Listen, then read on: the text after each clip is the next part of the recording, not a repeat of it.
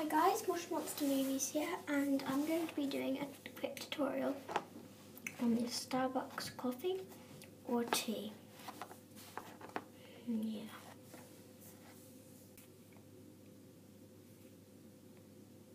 So the first thing you're going to want to do is find is decide if you're going to be making coffee or tea. This is what you'll need.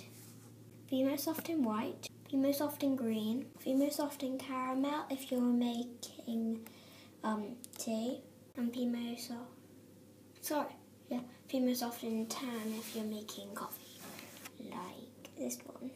I'm going to be making a tea one today. First take a small bit of white polymer clay and roll it out into about a, like a shape bit like this sort of this is what mine turned out like then you're gonna get like, some Soft in tan or caramel and go ahead and take a chunk of that then roll it out and flatten it. This is what mine turned out. As you can see, it's a little bit too big, so keep on making it smaller by pulling bits off and remodeling it. As you can see, this is, I finally got it to the right size. Now what you're going to do is just place it on top like this.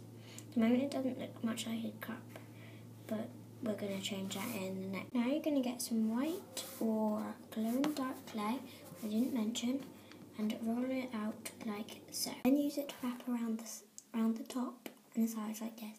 Then press it down a tiny bit. This is how it turned out. Now get a bit of green also roll that into a long, thin, like worm sort of thing. Make sure it's quite thick like this. And then using, I'd use a blade, but I actually don't have one with me. I'm going to use the end of my scissors to cut off the edge. Now you're going to bend it like this and then texture, texture this bit here. I I, I prefer doing it on my thumbnail really, use a blade or whatever you like. Now you're going to want to attach it. If it's a little bit like like mine, just cut it down a bit more and then stick it on. Here's how mine turned out. Now you're going to want to, want to print out some very small Starbucks logos that you can use. Cut them out and then stick them on top.